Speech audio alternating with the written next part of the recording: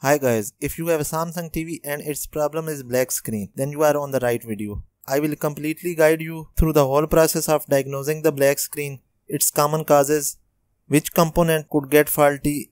I will show you the conditions of black screen and their fixes.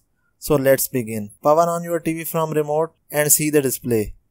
If you can't see the display then gently hit the TV screen with your finger.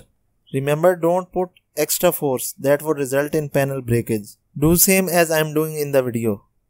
If you see the screen blinking or flashing when you hit it, then it means that your backlights are working but your panel is faulty.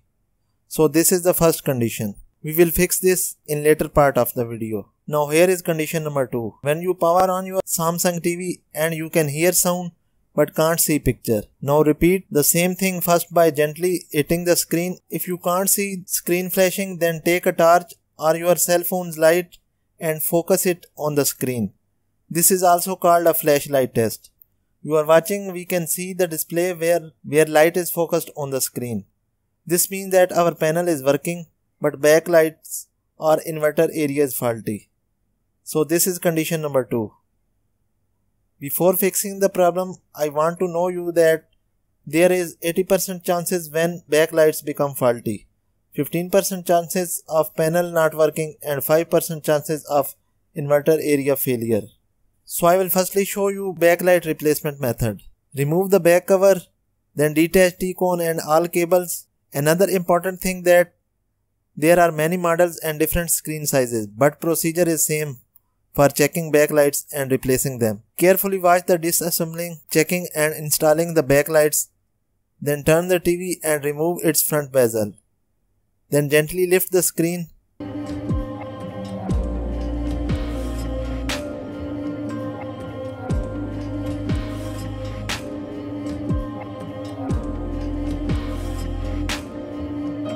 Remove the panel fittings then reflecting sheets, then reflecting paper, till you see the backlights. Now we will need a LED backlight tester to test the backlight strips. Place the red probe on positive point and black on the negative. If backlights are good, all the LED will glow and if anyone is not glowing, then your strips are faulty. In that case, you have to replace all the strips if you want a better result. In our case, our strips are faulty. I have got new ones and I will test them before installing.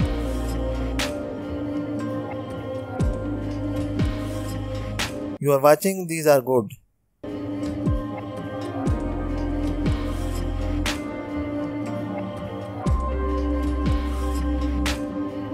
Now you'll install them and check them with TV powers.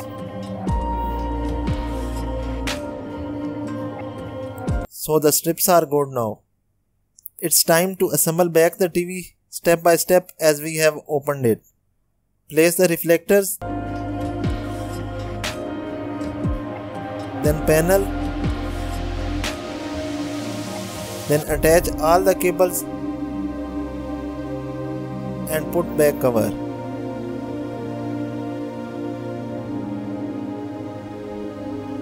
Now it's checking time. Our black screen is fixed now. So this is the case when your backlights are not working. Now we will move to the next condition which is inverter area faulty.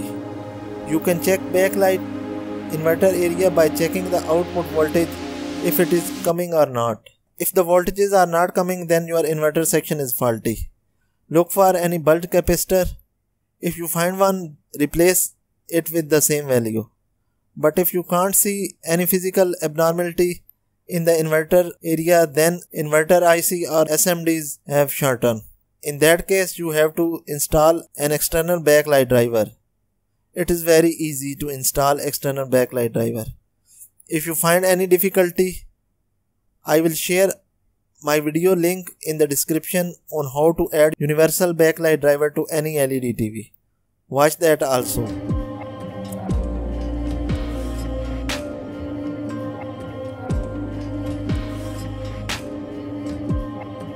Now we will move to the next condition which occurs less that is panel problem. So firstly check all DC to DC voltages if these are coming or not. If these are coming then it's good.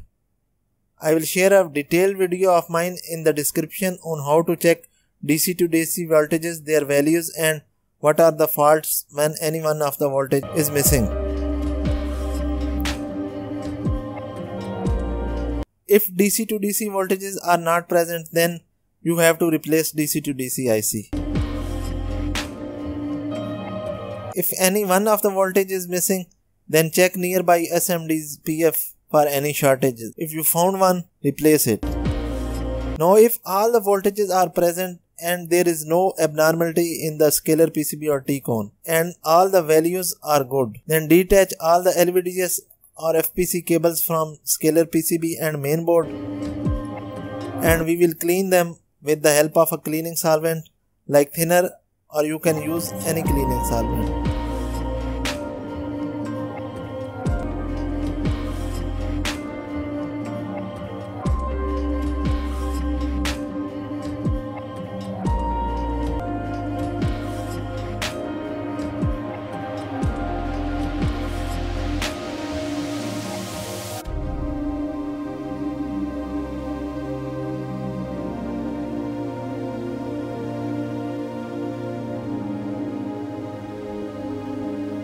Take a toothbrush and gently clean all the FPC cables and also jacks of scaler PCB and main board for carbon accumulation.